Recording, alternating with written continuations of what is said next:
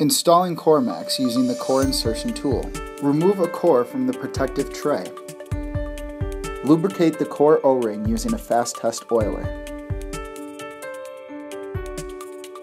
Place the core on the load tool.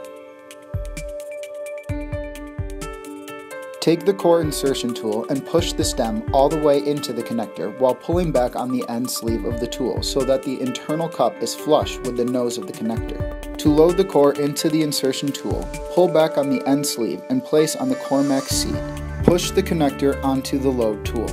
Remove the connector from the load tool. The core is now loaded. Pulling back the sleeve of the loaded core insertion tool, place the connector on the seat.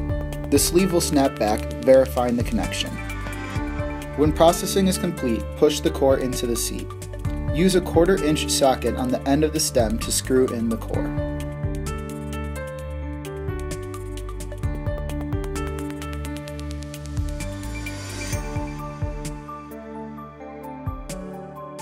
Remove the core insertion tool and finish torquing in the core using a FasTest torque gun set at 8 foot-pounds.